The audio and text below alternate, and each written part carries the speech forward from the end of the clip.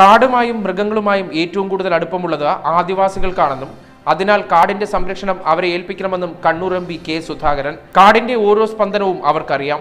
താൻ വനംവകുപ്പ് മന്ത്രിയായിരുന്നപ്പോൾ കാട് സംരക്ഷിക്കാൻ ആദിവാസികളെ കൊണ്ടുവന്നിരുന്നു. വിവിധ ബാച്ചുകളിൽ ഫോറസ്റ്റ് ഗാർഡുകളാക്കി ആദിവാസികൾക്ക് പ്രത്യേക പരിശീലനം നൽകി. അവരെ ഡ്യൂട്ടിക്ക് ഉപയോഗപ്പെടുത്തിയിരുന്നു. പക്ഷേ പിന്നീട് വന്ന സർക്കാരുകൾ അത് നിർത്തിവെച്ചു. ഇന്ന് ആദിവാസികൾക്കായി ഒരു റിക്രൂട്ട്മെന്റും നടന്നിട്ടില്ല. കാടിനെയും മൃഗങ്ങളെയും കരുതലോടെ നേരിടുന്ന ആദിവാസികളെ അവിടെ നിയോഗിക്കാൻ സർക്കാർ തയ്യാറാകണമെന്നും കെ സുധാകരൻ ആവശ്യപ്പെട്ടു.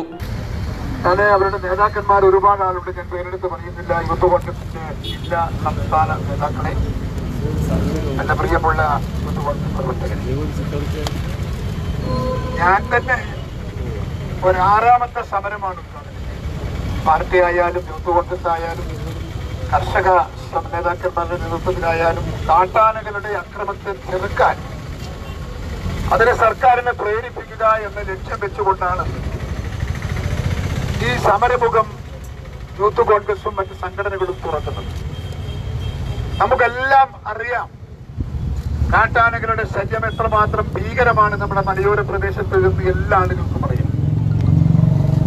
ഇതൊരു തുടർക്കഥയാണ്. ഏത് കാലഘട്ടങ്ങളിലും ആനയുടെ അക്രമമേറ്റ് പാവപ്പെട്ട കർഷകന്മാരും പാവപ്പെട്ട തൊഴിലാളികളും മരിക്കുകയോ ഭൂമി നഷ്ടപ്പെടുകയോ കൃഷി നശിപ്പിക്കുകയോ ഒക്കെ ചെയ്തിട്ടുണ്ട്.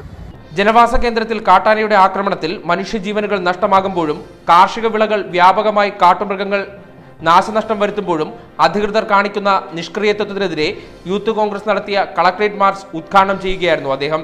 കഴിഞ്ഞ ഒരു വർഷത്തിനിടയിൽ കാട്ടുമൃഗങ്ങളുടെ ആക്രമണത്തിൽ കൊല്ലപ്പെട്ട നിരവധി സംഭവങ്ങൾ ഇല്ലാതാക്കാൻ സർക്കാർ കാണിക്കുന്ന നിഷേധാത്മക നയത്തിൽ പ്രതിഷേധിച്ചും ആനമതിൽ നിർമ്മാണം പുനരാരംഭിക്കണമെന്നും ആവശ്യപ്പെട്ടായിരുന്നു യൂത്ത് കോൺഗ്രസ് കളക്ട്രേറ്റിന് മുന്നിൽ പ്രതിഷേധ സമരം നടത്തിയത്. പ്രതീകാത്മകമായി കാട്ടാനയെ മതിൽ കെട്ടി തളച്ചാണ് സമരം നടത്തിയത്. യൂത്ത് കോൺഗ്രസ് ജില്ലാ പ്രസിഡന്റ് സുദീപ് ജെയിംസ് സന്ദീപ് പാണാപ്പുഴ വിനീഷ് ചുള്ളിയാടൻ തുടങ്ങി നിരവധി നേതാക്കൾ പ്രതിഷേധ സമരത്തിൽ പങ്കെടുത്തു.